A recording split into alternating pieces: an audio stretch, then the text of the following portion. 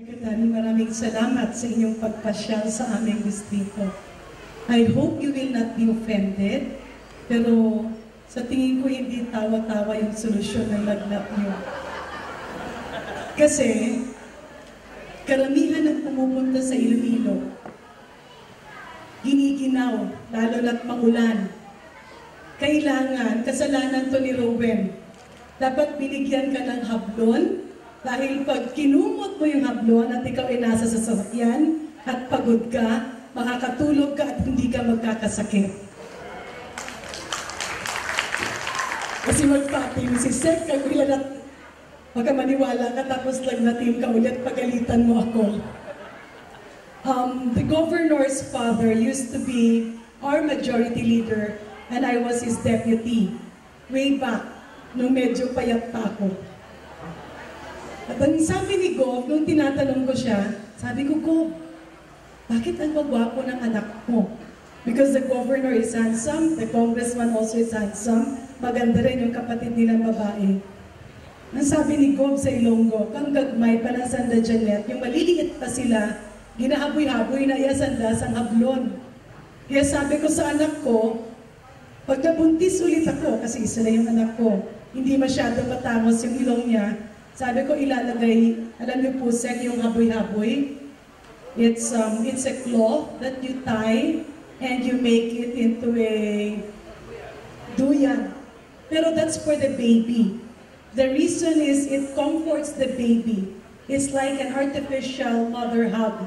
Parang masyadong secure yung baby. Kasi pag regular na duyan, pwedeng maging malikot. Oh, pag haboy-haboy, nakakulong yung baby, akala mo naiipit, but it actually gives comfort. Hindi nagugulat. Kaya daw tumangos yung ilong ni ko.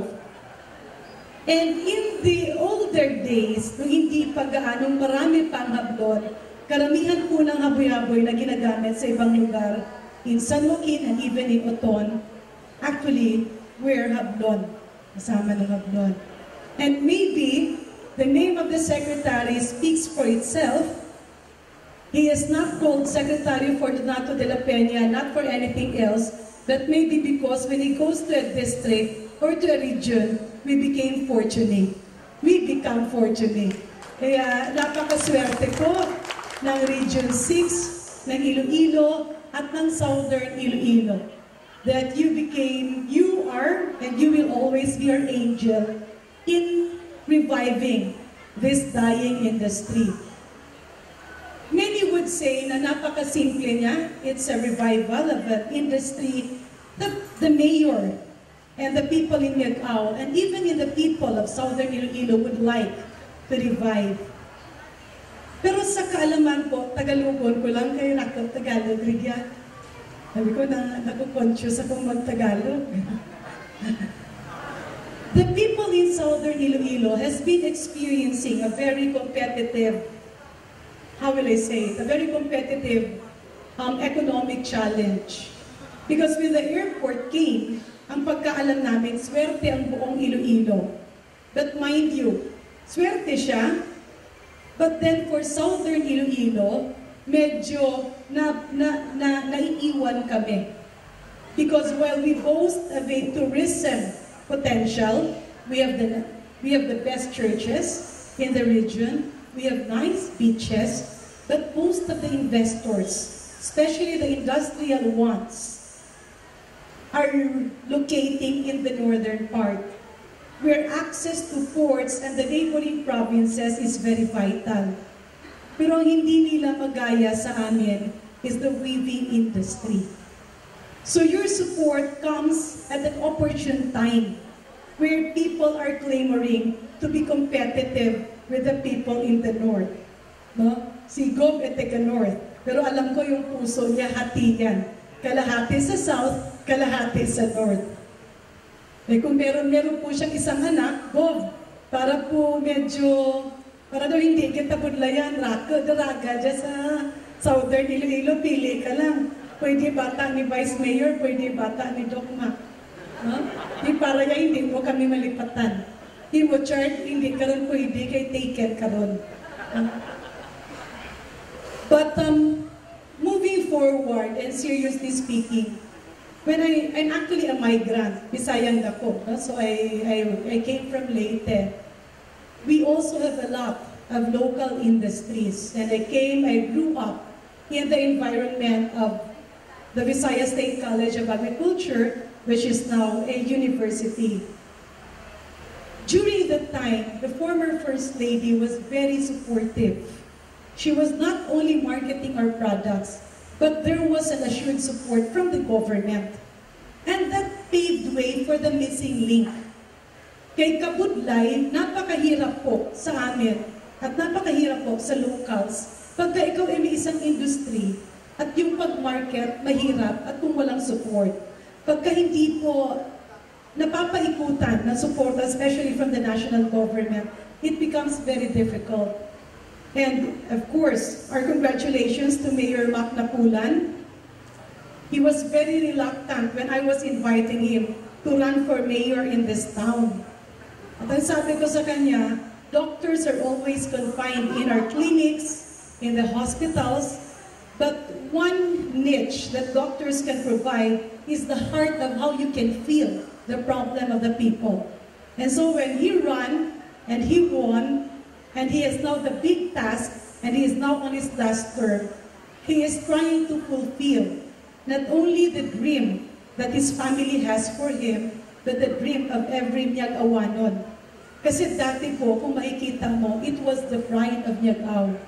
But when competition sets in, it was not only a matter of losing an industry. It was actually a matter of pride. Dr. Muyong has said, lumaki siya, pinakain siya, pinaaral siya ng hablon. And this is the same pride, the same sentiment that every family in Southern Iloilo holds. And when that industry that reared up your family starts to go into the twilight, you feel that everything is collapsing before your eyes. So when, when I was informed that ISA, I was actually there yesterday or the other day, the, the other day, and I saw the center.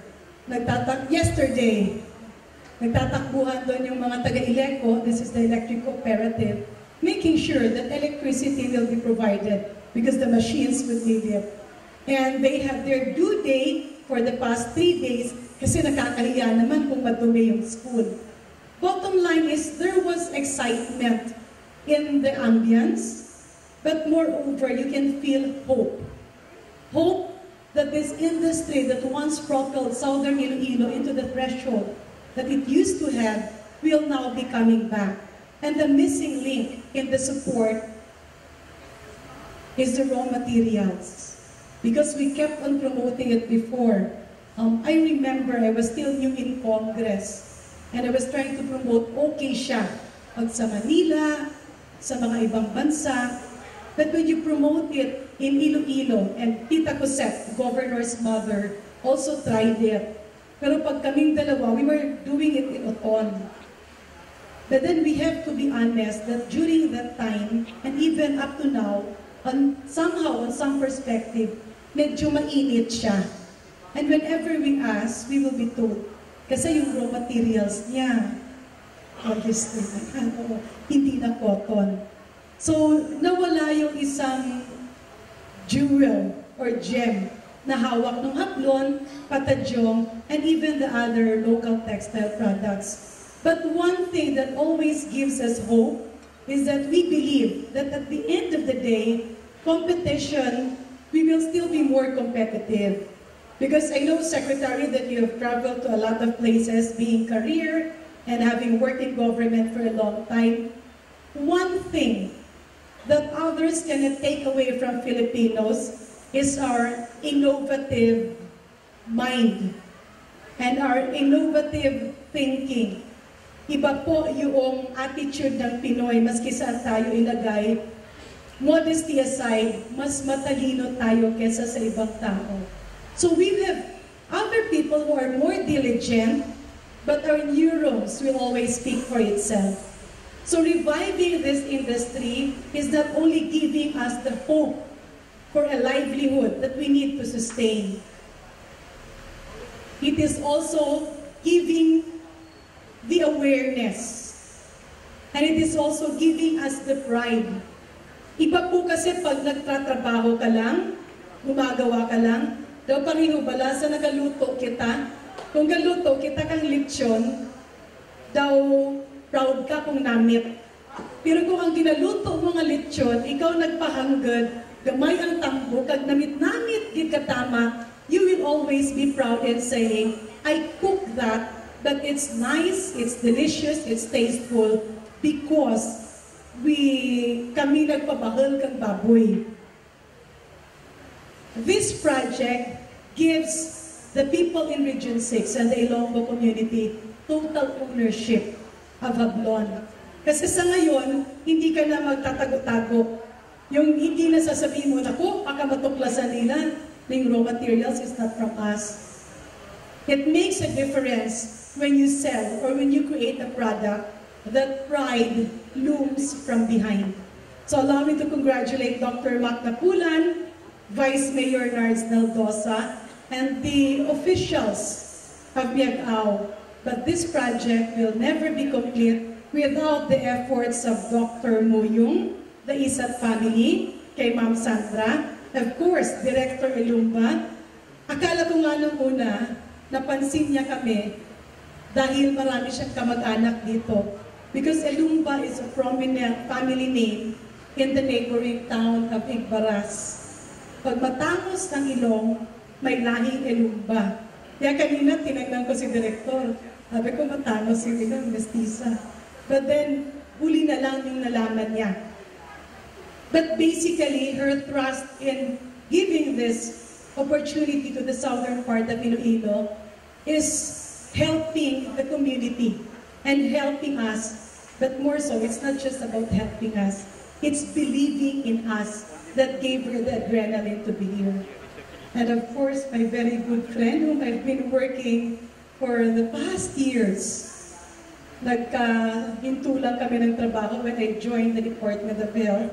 But you have a very active regional director and he is on call 24-7.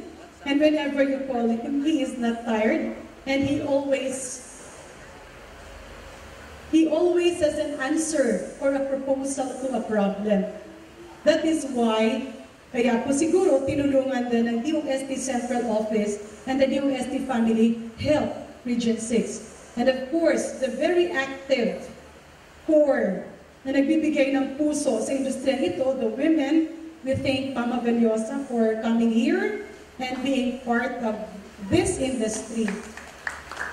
And the weavers. Kaya nga sabi ko, Sir, hihingi kami ng isang pabor. Next year, sa SONA, baka pwede magsuot ka ng hablon na barong. Para kung naglalakad ka doon, nararamdaman ng lahat na sa bawat hakbang mo, kasama mo ang Yagaw, kasama mo ang Panay, kasama mo ang Region 6.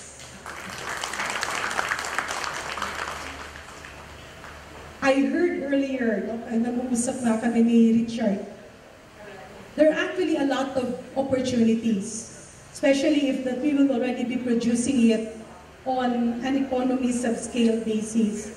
Because even Patajong, ang daming naghahanap. Um, mind you, in the work, and I know you will empathize with me in the work that we have, both in the private sector and in government, parang si Gov, buong araw sa opisina kanina, diretso dito. So sabi niya, naku, hindi ako nakabihis. Mabuti nga siya lalaki. But then it's also the same sentiment that I have, especially if you're invited to have lectures in other countries. Pagkatapos po kasi, there will always be an event that you will meet the Filipino community at bihis lahat. And together with the other stakeholders who have interest in the Philippines. So I always have a hard time bringing along a Filipiniana. Isa pa napakakuripot ko sa damit kasi sayang eh, ang mahal. So what I do if I go there is I just, oh, I always bring different colors of blonde and then wrap it around.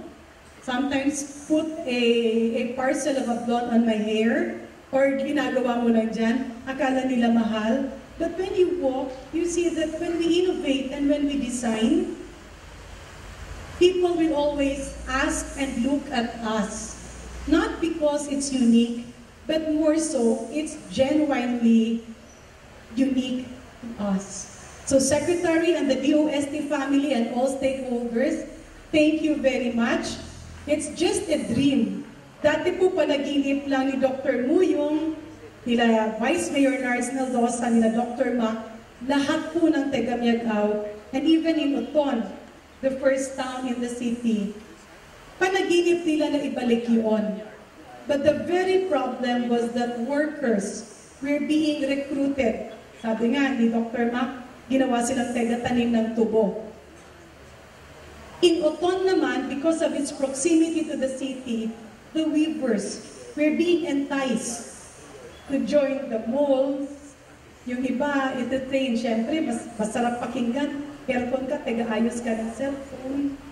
But the problem there, now they're starting to realize these opportunities, encoder ka, sales girl ka, taga-ayos ka ng cellphone, it's also starting to dwindle. That if you are a weaver, it's actually a talent and a gift for life because it does not have an expiration. Yung mga stewardess, pag dumating ng edad 30, bawal na, nasa ground na. Pagdating ng 40, pinaparetire na. But the hablon weavers, the older you grow, the more enticing your designs are. Because each weave and each movement actually gives you more experience. And it's a talent that being, that's being handed from the mother to the next generation, to the next generation, and the other generations. It's like our traditional hilot na pagka tinuruan ka ng lola mo, talagang magaling ka. No? Pag tinuruan ka ng nanay, ng nanay, and even your great-grandmother, it's actually a talent that becomes a family's heirloom. So this opportunity is not just about job generation. This is about us. And this is about Yagaw. And I look forward, hindi ko lang nasabi, Seth, but in this area of Southern Iloilo, I don't know if there is a correlation. Maybe Rowan can help me re- research of that. In some areas, especially on the coastal part, maraming magaganda dito. Matatangos ang ilong, maraming nakikilala dito na Miss Dinagyang, marami yung nagiging model abroad or nagiging model. And I still hope and I believe that one of these days, we can have a Binibining Pilipinas coming from Southern Iloilo. But what I'm looking forward is that in the talent portion, yung talent ng Miss Universe will be hablon weaving. And once they go to that stage, and it will be said that the Miss Philippines or the Miss Universe is wearing a gown where the cloth was weaved by herself, that is already a statement that Filipinos will forever be above every nationality. Maraming salamat po. Thank you for coming and God bless.